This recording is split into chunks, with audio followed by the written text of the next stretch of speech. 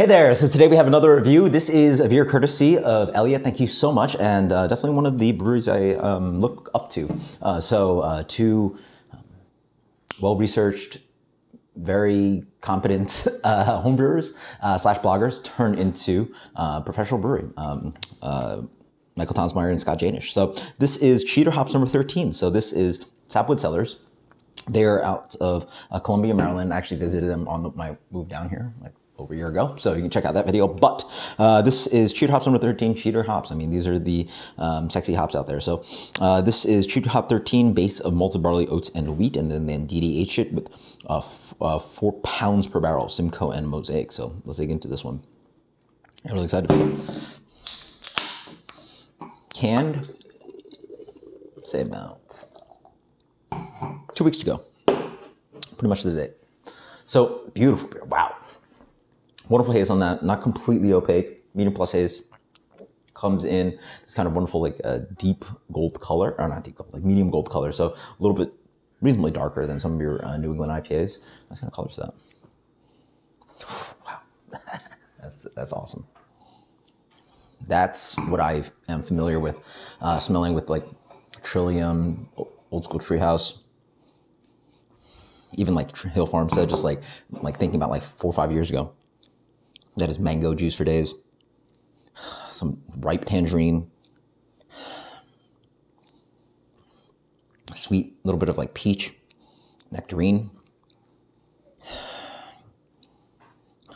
It's like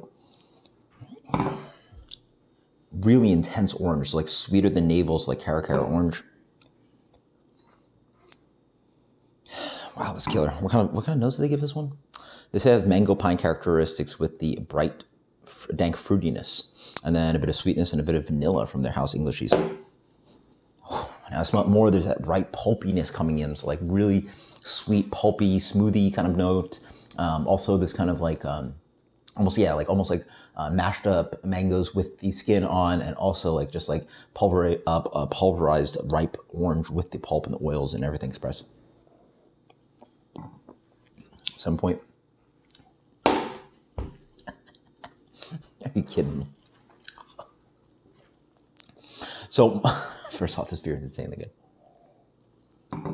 Um,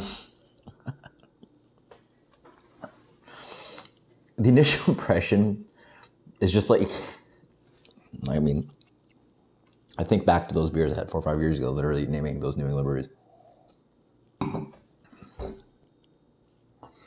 It is just like described on the palate. It's um, citrusy tropical mango, a bit of that pulpy stone fruit, but it has that like macerated um, uh, uh, peel of the citrus involved too, right? So it's like clementine, tangerine, sweet, sweet, sweet orange, but like you've you've moved in the the citrus peel too, so it's oily uh, and also has a little sharp, a little bit of like um, dryness and bitterness to it, right?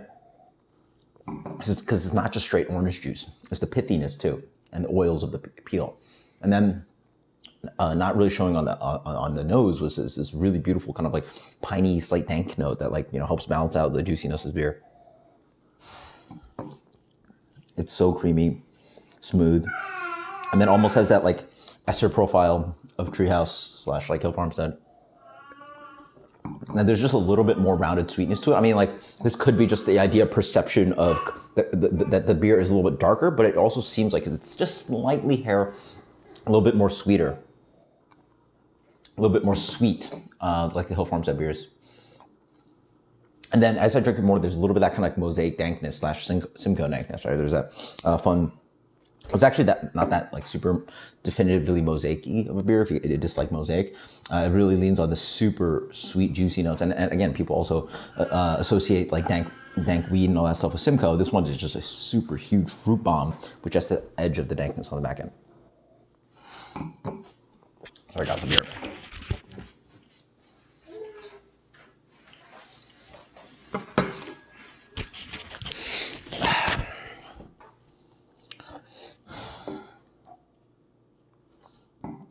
I strongly believe this might be the best IPA I've had in at least a year.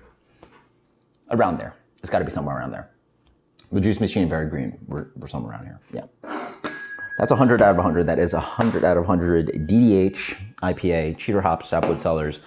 Um, if you guys are not seeking this brewery, that you have to. Like this is just absolutely world class. Uh, the fact that none of the Treehouse beers that I uh, bought were even remotely close to this level is just absolutely insane. I mean, granted, I did have a few, you know, ones that I reviewed back then or a few months ago that were um, Hunnits, uh, Juice Machine and Very Green, but none of the other beers even remotely were close to this. Yeah, that's a right there. That's absolutely insane. That is absolutely delicious. Great mouthfeel. Love the aromatics. Love how clean it is, and it has a bounce to it that's really nice. of that kind of just like green pine character slash dank.